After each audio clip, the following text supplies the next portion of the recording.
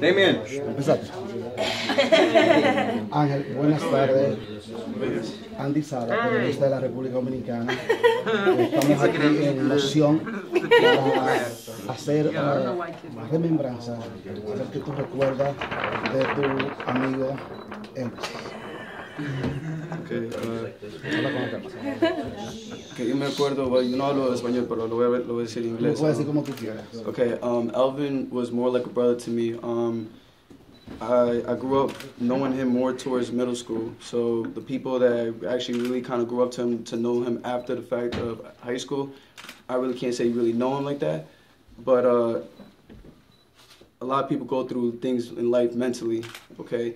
And um, he went through something. So because of that, it kind of changed his life.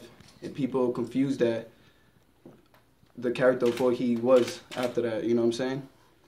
Um, the situation of what happened, I don't think it was justice. At the fact that on the way they came to his house to slaughter him um, in front of his family. Uh, the only thing I could say is I'm just glad that he actually was able to at least visit my son once before he had whatever happened to him.